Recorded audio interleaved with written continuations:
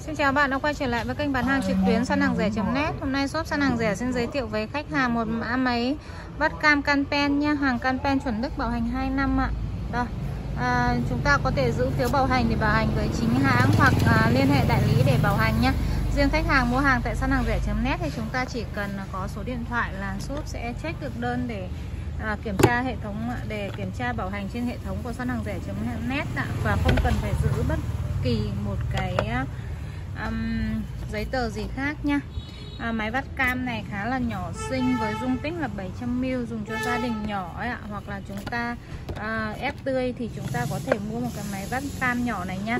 Cái này của chúng ta thì có hai cái à, núm này. Nên là chúng ta có thể à, vắt quả nhỏ chúng ta dùng một và vắt quả to thì chúng ta dùng trồng chồng nó lên nhau như này nè và cái nút này là nút tách tép này. Đó nút tách tép thì chúng ta có thể à, tách à, nhiều hay ít tép thì chúng ta di chuyển cái nút này để tăng cái độ dày mỏng của lớp tách tép này ra nha. Hàng rất là dễ dàng sử dụng.